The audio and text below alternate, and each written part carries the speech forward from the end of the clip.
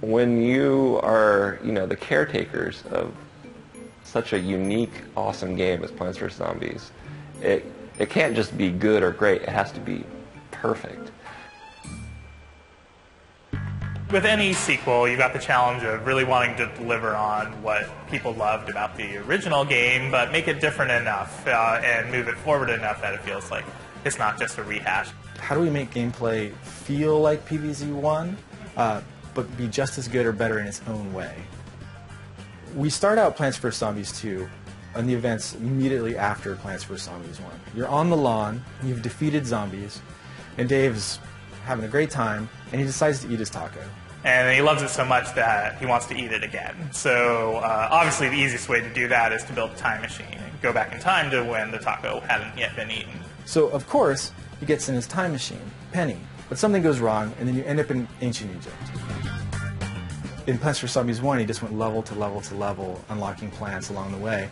In PVZ 2, we take you out to our world maps. So in PVZ2 at launch, we've got three worlds, uh, Ancient Egypt, Pirate Seas, uh, and Wild West. It was always our goal to have the most robust game possible, and part of that is going to be releasing these new worlds. So even though we've released three worlds, we want to have new, new and more content coming out all the time.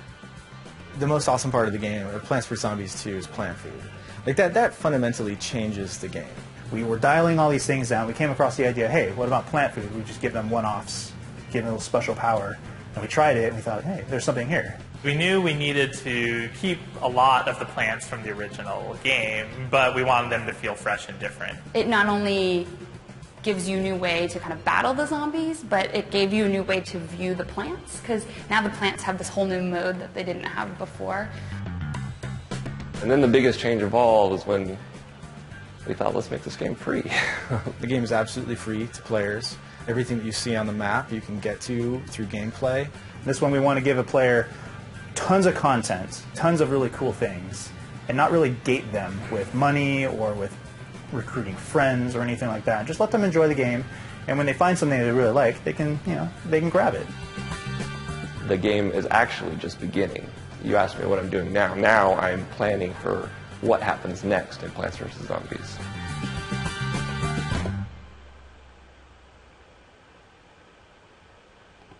PVZ2 at launch, we've got three worlds, uh, Ancient Egypt, Pirate Seas, uh, and Wild West. It was always our goal to have the most robust game possible, and part of that is going to be releasing these new worlds. So even though we've released three worlds, we want to have new, new and more content coming out all the time. The most awesome part of the game, Plants vs. Zombies 2, is plant food. Like that, that fundamentally changes the game. We were dialing all these things down. We came across the idea, hey, what Dave's having a great time, and he decides to eat his taco. And he loves it so much that he wants to eat it again. So uh, obviously the easiest way to do that is to build a time machine and go back in time to when the taco hadn't yet been eaten.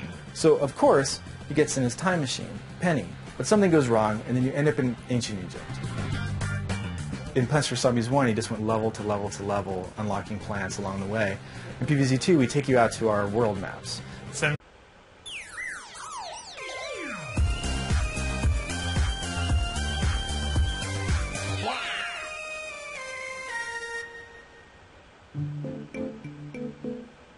When you are, you know, the caretakers of such a unique, awesome game as Plants vs. Zombies, it, it can't just be good or great, it has to be perfect.